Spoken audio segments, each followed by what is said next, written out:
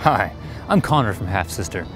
Join us on Friday, October 30th as we present the second live episode of Half Sister Season 1, an improvised sitcom. Now, you may be thinking, I want to go, but I don't know who to invite. Well, here are some ideas for you. You can invite friends, uh, your wife and kids, two other people, I mean, three's company, two and a half men, Golden Girls, a Belvedere, a nanny, uh, former baseball player turned bartender, a 10 year old whiz kid, twin sisters, sits backwards in chair guy, a Hawkeye type, maybe a Ross or Rachel type, an annoying neighbor, a neighbor whose face you've never seen before, a jello pudding pop, the fresh prince of your particular region, a Topanga, whatever that is, a Raymond, I mean, everyone loves them. I think you get the idea. There are all kinds of people you could invite.